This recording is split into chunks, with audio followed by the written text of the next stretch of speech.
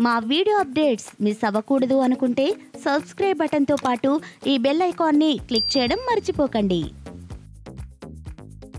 ఎప్పుడు సినిమా ఫంక్షన్లు జరిగినా తన భర్త చిరంజీవితో పాటు కలిసి వెళ్ళి సైలెంట్గా కూర్చొని తిరిగి వచ్చేస్తుంటారు ఆయన సతీమణి సురేఖ. ఎవరితోనూ పెద్దగా మాట్లాడరు. తన పనేదో తాను చూసుకుని వెళ్ళిపోతుంటారు.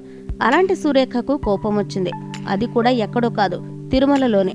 తన కుమారుడు సినిమా రంగస్థలం విడుదలై భారీ విజయాన్ని కైవసం చేసుకోవడంతో శ్రీవారిని దర్శించుకున్నారు చిరు భార్య సురేఖ. సురేఖతో పాటు ఆమె స్నేహితులు బంధువులు కూడా ఉన్నారు.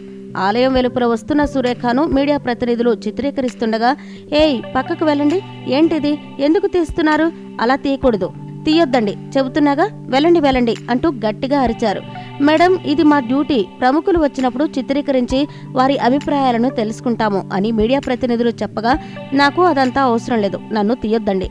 నన్ను టీవీలో చూపించొద్దండి అంటూ గట్టిగా అరుస్తూ కారెక్కి వెళ్ళిపోయారు సురేఖనే స్వయంగా చెప్పడంతో మీడియా ప్రతినిధులు కూడా సైలెంట్ అయిపోయారు.